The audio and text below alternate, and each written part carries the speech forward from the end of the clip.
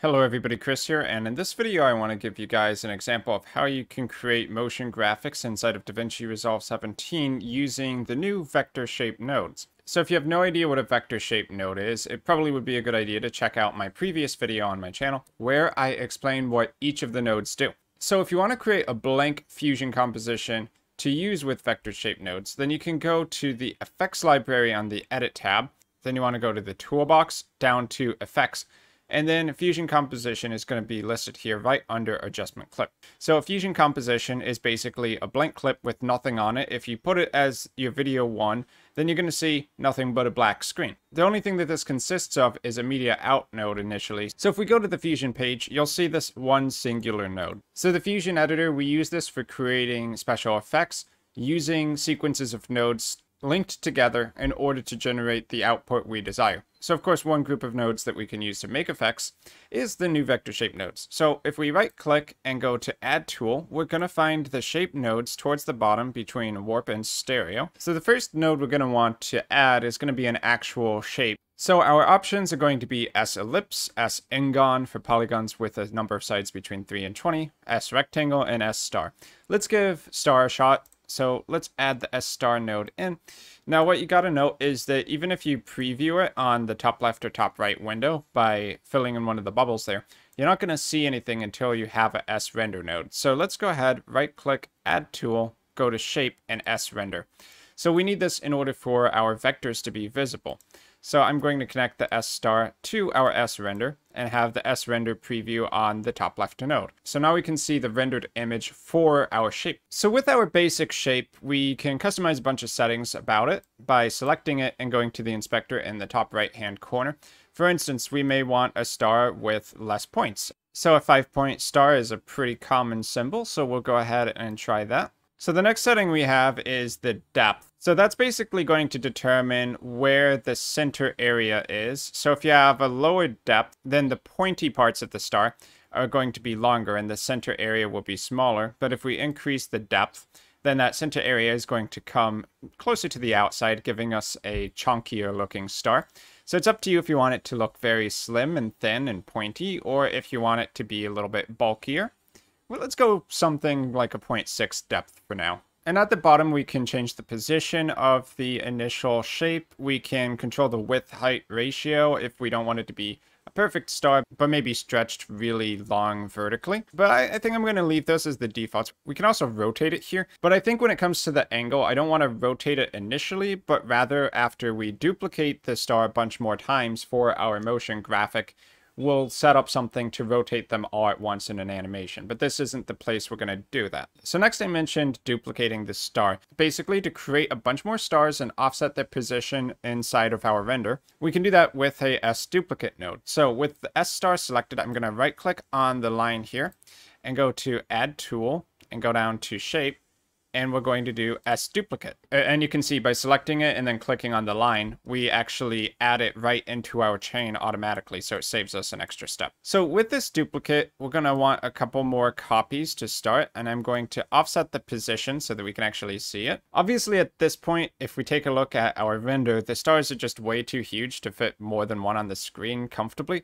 So back on the S star node, I'm going to lower the width and height of the star. So let's shrink this down to something more like 0.2 for the width and 0.2 for the height. So now we have smaller stars to work with. For now, I'll leave the position centered perfectly. So now what I'm going to want to happen is for stars to rotate around the center point. Now currently the axis mode is set to origin relative, so if I rotate, you'll see that each of these stars are rotating around their own individual object origins, which is the center. But if I change the axis mode to origin absolute, then now the new origin for all of the objects becomes this center point. So the further away from the center that each of these stars are, basically set by the x offset, the more this rotation is going to affect them. So you can see how the one that's on the outer edge rotates dramatically more than the one that's closer to the middle, and then the one in the center stays perfectly still. So for such an animation, I'm going to want probably even more stars,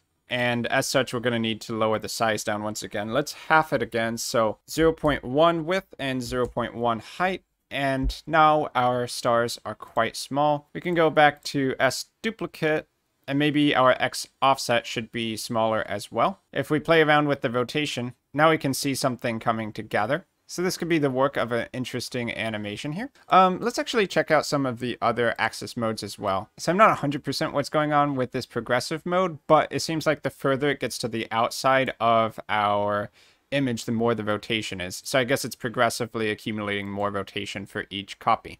And let's try absolute as well. Okay, so with absolute, it seems like we have control over that origin point. So if we moved it up here, then the rotation is going to be with reference to that. Okay, interesting. Uh, let's go back to origin absolute for now. So I think what we'll do here is have the animation end with all of these stars lined up. I want them to be spaced a little bit more from each other. So let's put it somewhere like that and maybe shrink the size once again. So let's put it at 0.09, 0.09 for the height and width. And I'm going to want some on the left side as well. And how we'll achieve that is we'll actually have two S duplicate nodes and then merge them together. But um, for right now, let's get this side correct, and then we'll copy the settings over and just reverse the X offset to create the other side. Let's just say that this is our entire animation, so we want it to end here. I'm at so we want it to end here at frame 119. So I'm going to keyframe the rotation here, and now we're going to go back to the start, and then we're going to set a negative rotation value to where we want it to start at. So we might just put this at negative 180 degrees, right? So now if we hit play, our Star Wars are going to rotate into position over our 120 frames. And of course, there's many setups you could use for the rotation, whatever you want to go with. Um, but for now, let's copy our S duplicate to a new node. So we need the S star to feed into here and we also need to break our S render connection because we need to merge these two duplicate nodes together so that they can both feed it into the render. The render can only hold uh, one input. So I'm going to right click and go to add tool and we go down to shape and S merge. Okay, so now we have the first duplicate coming in here and the second duplicate on top. So we merge them together and then we feed that to the S render. So now all we need to do for the second duplicate node is to put a negative in front of the X offset. So I'll pop in negative here and we have our stars on the left now. So if we go back to frame zero and hit play, we're going to have our animation here. So the same thing's happening on both sides. And over the course of our 120 frame animation, all of the stars line up into position. Maybe we actually want there to be a second or so where the animation has completed and we just have the stars in position. So maybe let's take the uh, keyframe and move it to frame 90. So what I'll do is I'll just go to frame 90 here and I'm going to change the rotation here to zero. So at this point now, there's going to be a new keyframe. You can see it by the little white notch. And we need to do the same for the bottom one. So at frame 90, put zero for the rotation. And now we have a keyframe there for both of them. We can remove the final keyframe now because there's now no animation between frame 90 and 119. But it's not actually really getting in the way right now, so maybe we'll just leave it like that. So let's go to frame zero, we hit play, we have our animation. Of course, because it's occurring over less frames, it's sped up a little bit now. So I think that would be pretty okay for our graphic animation. At this point, we could throw in a text title uh, somewhere between srender and media out and then merge them together. Because this is a tutorial to demonstrate some of the nodes, Uh, we can also throw in a grid. So if we want to duplicate all of this, we can add a grid, an S grid, somewhere between merge and render. So I'm going to select the merge node, right click on the line, go to add tool, go down to shape, and let's do S grid. So as you can see, that creates a lot more duplicates of everything we've got so far.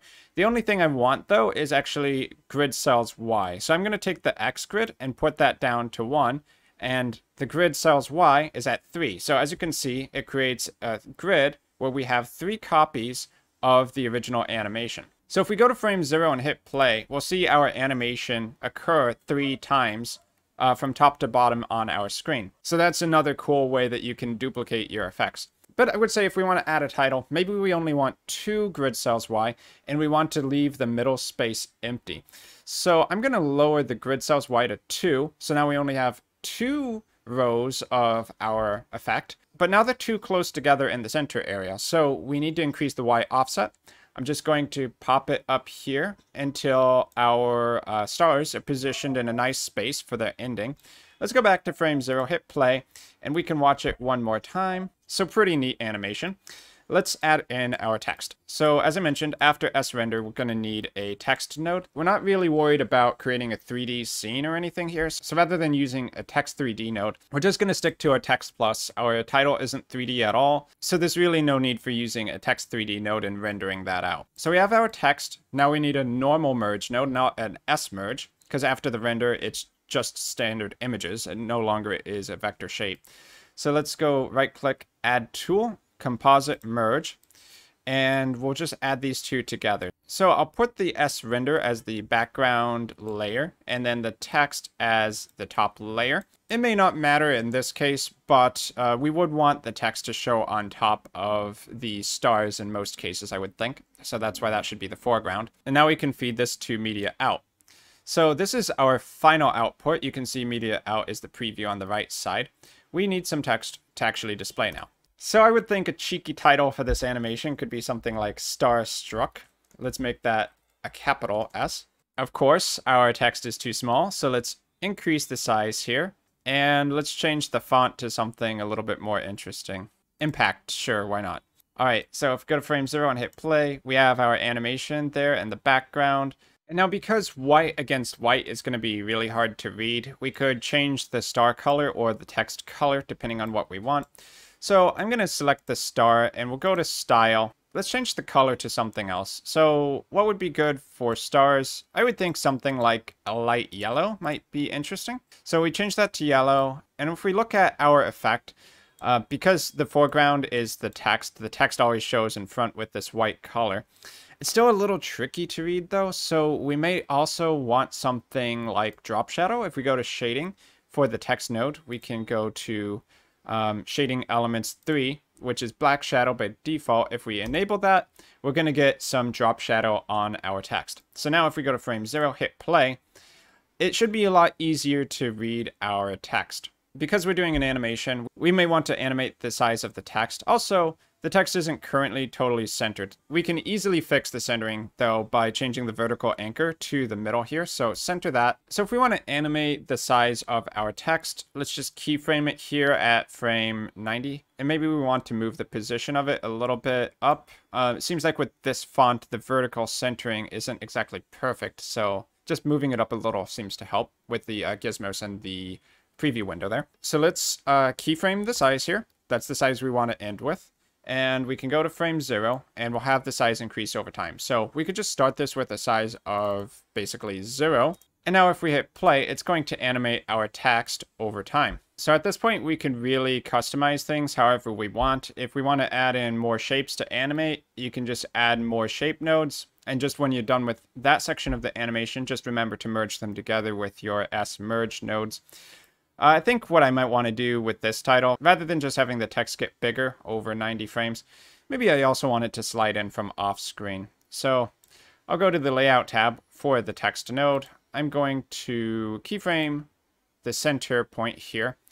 And then I'll go to frame zero and we'll just move it off screen. So I could use the gizmos for that if I want. And when we do that, we can see the path that the text is going to follow, this green line here, over time. If we hit play now, then the text is going to slide in from the left onto the screen. And you know what? I actually hate that. So I'm going to hit Control Z a couple times. Let's just go back to how it was before having the keyframes. So what we could do instead maybe is have the text be out of focus initially, and then as it comes onto the screen, it becomes more in focus. So we could do that with a blur node attached after the text one. So I'm going to select the text, right click on the line, go to add tool, blur, and let's see, we could do defocus, uh, Gaussian blur, which would be with a standard blur node, would be uh, another easy example. Let's try out the defocus node. So uh, with defocus, the bigger the defocus is, the more the bloom effect is going to layer on top of the text and make it unreadable. So we can start with a lot of bloom and then lower it down to maybe zero or just a very low amount. All right, so we got to keyframe that. So at frame zero, I'm going to have it up here at let's say 10 for starters, and keyframe it. Don't forget to click on the keyframe diamond. And now we come up here to frame 90, and let's figure out how much we actually want. We could put it at zero, but I don't think that's too interesting. Because we're talking about stars, maybe we do want there to be a little bit of the bloom effect still remaining. So we could leave that at two. Can also play around with some of the other settings here. Can also play around with some of the other settings. So if we go halfway here, we can see where the bloom is going to be strong and visible. And we could experiment with just changing the sliders around depending on how much we want the effect to be visible. But you know what? I think it's probably pretty good as it is right now. And now I kind of even want the defocus effect to be with the stars in the background. So I'll also add in one defocus node after the S render. And I think that's going to be it. Obviously, we could go on for days. Uh, adding all of these nodes into our effect and making things more complicated and interesting, but we've really already covered the main point, which is to use the shape nodes to create some kind of motion graphic animation. So we'll just have a defocus here on the stars in the background. I'm not even going to change the settings here. We're not going to animate it, but you know what? Looking at the defocus, it doesn't look like there's any way to change the color of the bloom effect. So we can actually switch to a different node. In Resolve, there's always many ways to achieve the same kind of thing. So after S render, right click, add tool, and we'll go to blur and let's do a soft glow. So the advantage here is that we actually have access to the color scale. So we can just make this kind of a yellow, similar to the base color of the underlying vector shape. So to get yellow, let's decrease the blue and uh, decrease the green a little bit too. Maybe increase the red scale. So now it's kind of a orange glow on the outside. And if we want, we can increase the glow size here lower or raise the gain depending on how much glow we want. And then it looks like with the threshold, if we increase it, we'll get more of the yellow color from the underlying star. So I guess I want this threshold a little bit higher there. And uh, now we have glowy stars, so I think that's going to look better. Let's go ahead and hit play here. Maybe the defocus is a little too strong for the text up there. We can modify that in a minute. But I do think that the glowing stars looks pretty neat. So let's go to frame zero. We'll lower the defocus here to about half. And at frame 90, uh, we can leave it there at 2. So let's go to frame 0, hit play one more time. I, I think I just don't like the fact that the text is pure white. So let's change that color on the text node in the inspector. Let's just find another color for that. I think something like an orange would look a little bit better here. Something that kind of more reflects the general star color. I think I also kind of want some soft glow on the text. So I'm going to copy this node and we're going to put it between the defocus and the merge. So now we can add some glow to our star struck title as well. So I think that's already looking a little bit nicer. The glow plus the defocus is a little much after the 90 frames. So I think at frame 90, we'll just lower the defocus to zero. So let's go to frame zero, hit play one more time, and we see our title uh, coming back into focus, and at frame 90, we should have just the glow. And yeah, there we go. That's definitely a lot more interesting than just plain white text. All right, so if we look at our edit page, we can see how our title looks when it's actually rendered. So at this point, we could just throw in a background in order to sit behind this title. So let's drag it into the timeline there. And now we have a background for this little animation. Maybe we want to darken the background. One way we could do that move the fusion composition to layer 3. And now we're going to go to generators and solid color. So just put that right behind the fusion layer. It's going to be generating color black. And on settings, I'm going to lower the opacity basically, the lower the opacity, the more of the background image is going to show through. Um, alternatively, we could actually lower the opacity of the background image itself, I believe, and composite. But with the generator, we can have any color we want overlaying it. So if we wanted to change this to, I don't know, something like a yellow, we could do that. Have a yellow screen, basically, on top of the background. We'll leave that as black, though. I think at 30% opacity, that looks quite okay. So if we move this layer out of here, then we can see the original background. And if we bring it in, then it's going to darken it for us. And I, I, think with it being a little bit darker, we can keep the focus on the animation that we created. So if we let the blue bar fill up in the preview for our animation and hit play, we can basically watch it in the real time it's going to be when we export our video. And there we have it a uh, pretty simple motion graphic animation that we created using the new vector shape nodes in DaVinci Resolve. I know I was going back and forth a little bit in the video, figuring out what I would actually like, but hopefully this has given you a good idea of some of the ways that you can practically apply the vector shape nodes for creating your own motion graphics in DaVinci Resolve 17. It's a feature I'm actually pretty excited about. There seems to be a lot you can do with the tools. But anyway, that's pretty much going to be it for this video. I've been Chris. Thanks for watching to the end, and I will see you guys in my future video content.